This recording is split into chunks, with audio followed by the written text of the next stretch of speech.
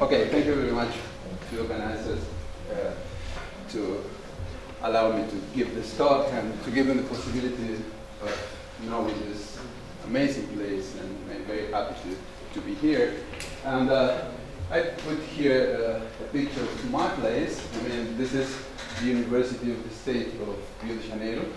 As you can see, uh, it's very, very near Maracanã Stadium that by now is very busy place, very crowded. And for this reason, my university is closed uh, up to the end of the Cup, you know. And, okay, today uh, uh, Argentina is working that is, uh, is still uh, my team because I'm Argentinian, although I, I work in Brazil. And, okay, but today I, I would like to talk about some uh, work that we are doing in collaboration with Eduardo Fradkin at University, uh, University of Illinois at Urbana-Champaign. And uh, it's about uh, the role of uh, anis anisotropies in some high-TC superconductors. And, uh, well, uh, I mean, we have several, uh, I mean, experimental evidence that anisotropies have, I mean, an important role uh, at least in the, top phase of uh, high TC superconductor and uh, principally in uh, the pseudogap phase. And, uh, you know, oh, sorry. Um, we I mean, stack correlations in Q peroxide are by now well, well established. And uh, you find a very, very funny effect near doping 1A that you, you can see uh, layer decoupling in the sense that the system is superconducting in the plane, but it's a very bad metal in, in, in the perpendicular direction of the plane. And this effect is strongly temperature dependent. So uh, you can see this effect at the same temperature that you are seeing uh, charge density wave or spin density wave. Uh, also, uh, this is a nice experiment uh, of Nernst effect that you can see a strong in-plane anisotropy uh, that develops at a temperature that is exactly the same that the pseudogap temperature. So uh, all this, I mean, uh, experimental evidence are showing us that anisotropy is, is, is playing some role at, at, at this phase. And one way to, at least to interpret all, all this uh, phenomen phenomenology is to propose that not only charge density wave or spin density wave, but also the superconducting order parameter is striped. I mean, is, uh, is forming a pair density wave in a sense that all order parameters are intertwined. And uh, this, this pair density wave was proposed in this paper by Fradkin Kivelson. Uh, and I mean, this is, I mean, this is the simplest order parameter, uh, PDW order parameter that I, I can show you is formed essentially by two complex order parameters that I'm, I'm labeling but plus Q and minus Q. And, you know, uh, this superconducting phase uh, has uh, a modulation with a wave vector q. And in the sense, I mean, the symmetry of this solid parameter is very similar to FFLO uh, states, however, have different origin. I mean, in this order parameter, I don't need to break time reversal invariant, and I don't need a uh, mismatch of some uh, Fermi uh, but the symmetries are essentially the same. Uh, I mean, just for simplicity, you can think that uh, uh, the mo modules of the, order, the two ordered parameters are the same, and in this way you can rewrite this ordered parameter showing uh, essentially two phases. one is the, the, superconducting phase, and the other way, the, the other phase is the, what we call smectic uh, displacement. I mean, this is, is measuring how you deform the, this, this pair density. So, uh, well, uh, what essentially in this work, I, uh, I want to show you what happens if you assume that you have this ordered parameter in the ground state and you put temperature and what happened with the, with the phase diagram of this, of this type of order. And uh, the first thing to do is to understand what kind of topological effect you have in this, in this system. And of course, since the, I mean, the two ordered parameters should be single value, the, uh, the phase is defined uh, modulo 2 pi, this implies that the superconducting phase and the smectic displacement is defined modulo pi. So uh, you can label the, the topological effect by, by this topological charge that, that it could be an integer or a semi-integer. And if you look at these charges, uh, you realize that you, you can have three, type, uh, three types of topological effects. One is the usual vortices, is 1, 0. The other double dislocations, that is 0, 1, related with minus phase. And the other one are half vortices coupled to single dislocation. This is one half, one half. And okay, so uh, the question is what, which is the phase diagram when, when you and melt this, this, this, uh, this order. And uh, this is the phase diagram that was shown in this, in this paper that essentially, since you have three different types of, of, of uh, topological effect, depending on of what type of topological effect you condense, you have essentially three phase transition. For instance, if you condense or unbind uh, vortices, you end up with a charge density wave. I mean, you kill superconductivity and you, you end up with a, with a charge density wave. On the other hand, if you condense half vortices with single dislocation, again, you kill superconductivity, and but remains an order that is uh, an orientational order, and is homogeneous but has an orientation order, so we call them. nematic. Kappa, what is kappa? Oh, kappa is, is, is the stiffness of the charge density wave. And this is, well, uh, on the other hand, I mean, th there's this phase that, that, that we found very interesting, that is very small here, is that this, if you uh, unbind uh, dislocations, uh, you end up with strange superconducting phase that is nematic because it has orientational um, order and it has double the charge of the usual uh, of the usual superconductor. And okay, okay, this this uh, mm, this phase diagram was built supposing that this PDW, this charge density well, is is locked at some direction, for instance, of the lattice. You can ask what happens if you allow for fluctuations of this of this type of I mean fluctuation of the nematics, and we did this calculation in, in this paper. Uh, that essentially what we did is uh, if you consider this Q is, is, is the order vector, uh, we, we put essentially a potential that has the symmetry of the lattice, in, in this case is, is, is, is a square lattice, and here you have the strength of the barriers. That this, these strengths are put in a new scale. I mean, that this we, we, we label that TH is a temperature. That if, if you are under this temperature, the stripes are locked in some direction of the, uh, of the lattice. However, if you are above this, uh, this temperature, the, uh, the stripes are strongly fluctuating. I mean, you're, they're essentially decoupled from, from, from the lattice. And we show that the topology of the phase diagram is strongly dependent of this, of this temperature. Uh, if this temperature TH is, is, is higher, that, that you have essentially this phase diagram is the same that I show you, I mean the same, the same topology. However, if this temperature is, is smaller, uh, look, above this temperature you have uh, you cannot break translation invariance. So uh, PDW is you shrink the PDW to the, uh, I mean, you, uh, PDW is not favored at what we call the nematic superconductor is enhanced. And in the extreme limit of TH goes to zero, that means if you have no lattice, uh, PDW just exists only as, as, as a ground state because the topological defect have finite energy, so they proliferate, uh, essentially kill the, kill the order.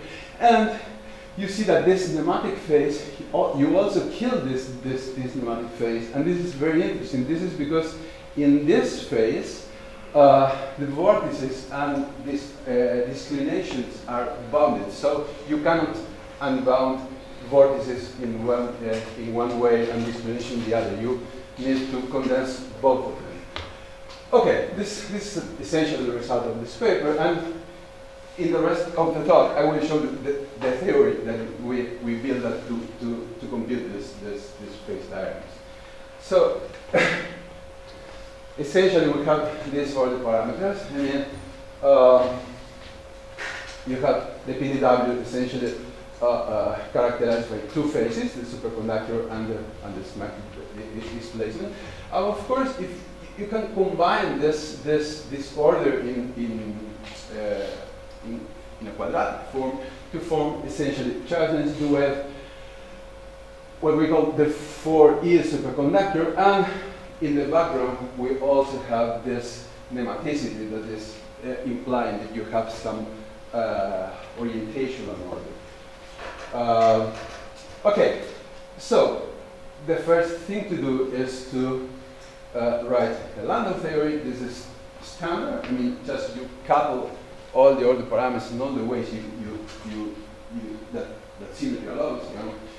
Uh, you have essentially the, the quadratic terms, the quartic terms, and you also have a cubic term that is very interesting because this cubic term is locking some phases. I mean, this is, for instance, the phase of the charge density wave, and it's locked to two times the phase of the PDW. And this, for instance, is the phase of the 4E superconductor, and it's locking, it's locked to two times uh, the PDW. And uh, okay, this is Landau theory, but the, the point is how to make Landau Ginzburg. I mean, how, how, how we can introduce uh, nematic fluctuations in that. I mean, how about the derivatives of this? And uh, okay, for to, to do this, uh, in fact, we, we inspired in the McMillan-de Gennes theory for liquid crystals that uh, essentially has the same symmetry. You know, uh, uh, I mean, if you have some order parameter that is some wave, I mean, could be charge density wave or, or some uh, order, you can couple with nematic fluctuation in this way, this is a covariant derivative, uh, you see that the nematic fluctuation is playing the role of, of, of, of a gauge field. Uh, and also the nematic fl fluctuation uh, induce fluctuation of the metric. So at the end of the story, you have this type of, of, uh, of free energy that is very similar to a field theory in the gravitational theory, I mean in the curved space. I mean, this is the metric and this is the determinant of the metric. And well, this is this is very well known. This is McMillan-de Gennes from Liquid Crystal, uh, written in, in, another way, but this is the same theory. Uh, we use essentially this this this uh, this concept to uh, to write the theory for uh, charge density wave, PDW, and 4E or uh, the, the, the 4E superconducting coupled with nematics through these covariant derivatives that couple with, of, of course, with the magnetic field and with the fluctuations of, of the. And then you have uh, the usual elastic theory for the Frank free energy for, for nematics. And we add this potential that is essentially locking the PDW with, with, the, with, the, with the lattice. Okay, this is the theory. I mean, you can compute a lot of things. It's a complex theory. I will show you some mm, some results and some uh, perhaps the, simplest one. I mean, uh, for instance, if you if you, if you are if you are deep in the PDW, I mean, this is essentially a long approximation. I put constant all the modulus and I focus on the phases. You can integrate over all the fluctuations, and you arrive to to anisotropic XY models, one for the superconducting phase and the other uh, for the smectic fluctuations. And uh, the, the stiffness of the of the um, of the symmetric phase is uh, controlled by this potential that, that, that is locked into the PDW with, with, with, with, with the lattice.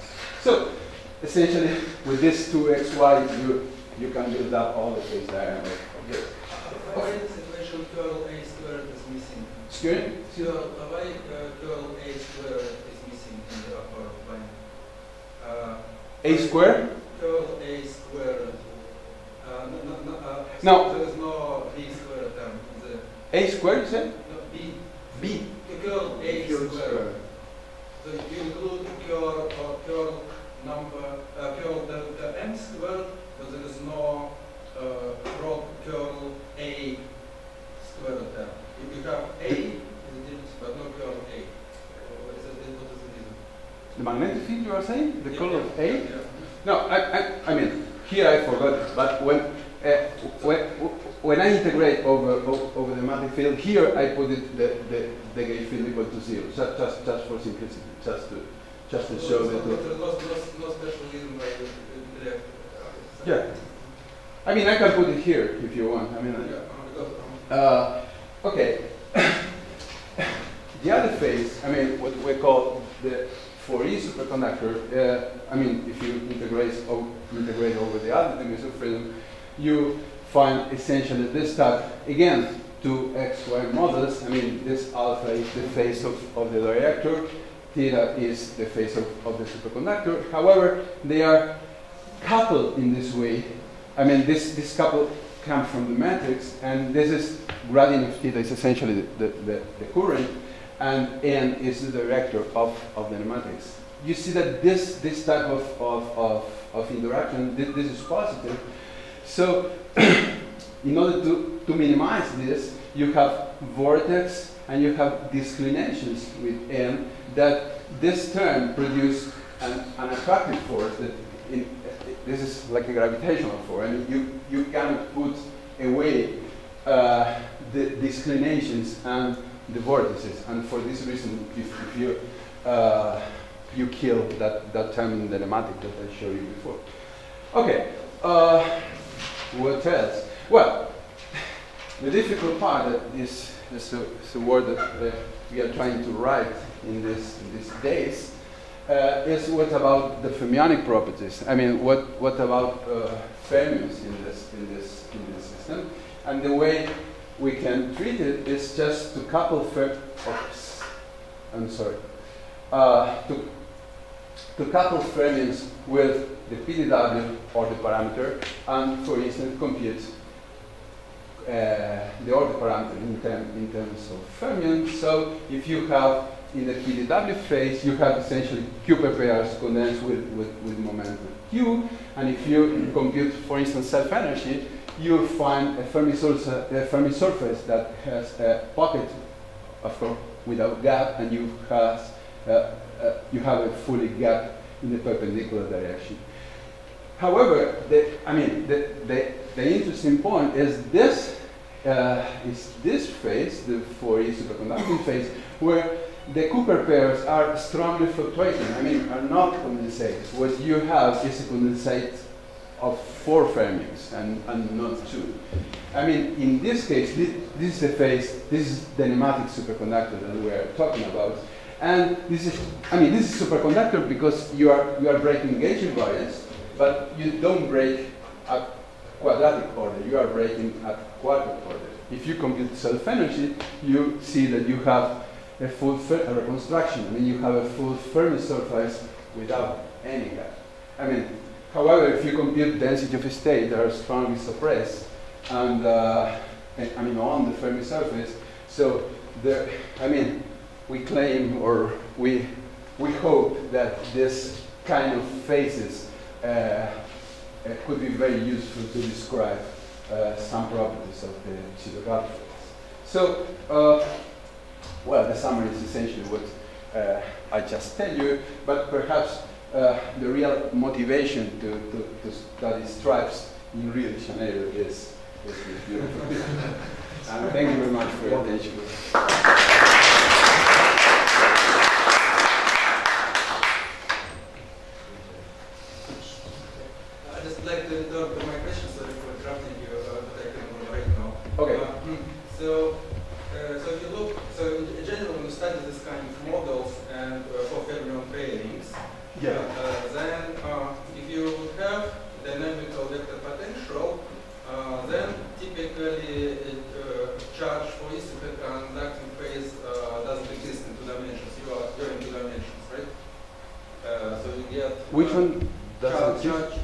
Charge density wave? Uh, With no, no, no, charge for with- E. Charge, uh, uh, I mean, charge for E. Uh, What? uh, so if you have, uh, if you add curl A squared, uh, uh, nominally, curl A squared, nominally if you are in two dimensions, uh, you eliminate uh, charge for E uh, superconductor uh, phase if you're in two dimensions.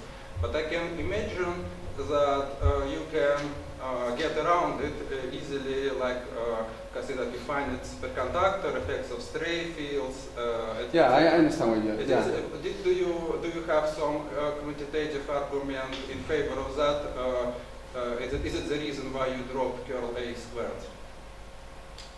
No, I didn't think about. It. Yeah, I mean, you say you say that if you put here No, no, no, not here. No, b, no, no, b square, I will kill for no, superconductor, right? Not, not this, not this one. Just if, you, if the easiest way is to have this London, London model. Ah, in London model. Yeah, yeah, yeah. This, this London model. Oh, here. Yeah. Uh, so maybe, uh, maybe it was. But this is the PDW phase. Huh? I mean, this is the PDW phase. That Yeah, is yeah, no yeah, problem with yeah, that. Yeah, I yeah, I uh, The 4E appears when you discline, with, with you unbind the, the, the vortices, and it's, it's, it's right. I, I don't know why you are saying that uh, the phase doesn't exist. I mean, uh, Maybe that's something you can discuss, uh, Yeah. it sounds very technical. Yeah, Let's just go with the next, uh, Uh, Tanya. Yes, one quick question. So you say that you, you can have condensation of four fermions. sure, Um, sure. Uh, and then my question is that uh, this it possible that this is related to some sort of phase coherence or is something more related to the gap? Because you mentioned that you only see that in the local density of states or something, something like that. Yeah, we have no gap in this in, Yeah, in, this in, the- the- this phase. I mean, you have a, a, a reduction of, of the density of the state, but it's, it's, But not, this is it's not a gap. but this is related to superfluidity, this condensation. I mean, is it is related to some phase coherence or not? Yes, yeah, it is. Yeah. So yeah. that means that if you do experiment, you, you should see some sort of uh, superfluidity. I hope so. Yes, so I would like to, to mention first that these pair density waves in the single channel, they are usually called eta pairing, and they were well known in the literature till the 80s. Uh, uh, and also in the, if they are in the triplet pair uh, channel, there are these pi triplet phases. Okay, okay, Okay, yeah. that, that, they are also known from the Yeah. 80s. Yeah, they are So- very similar to FFLO, so.